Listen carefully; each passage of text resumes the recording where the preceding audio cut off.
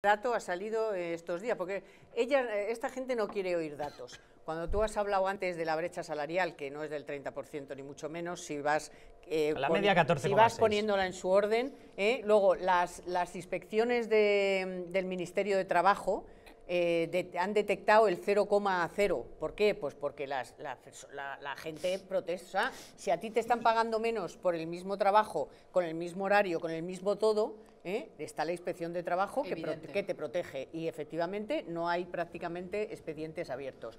Pero es que tampoco les interesan las cifras estas de que si somos los terceros de Europa, que si hay más mujeres diputadas en España que somos el tercer país en mujeres diputadas. Aquí os tengo preparado, ¿sabéis quién dirige las mayores compañías tecnológicas de en, España? Todo mujeres.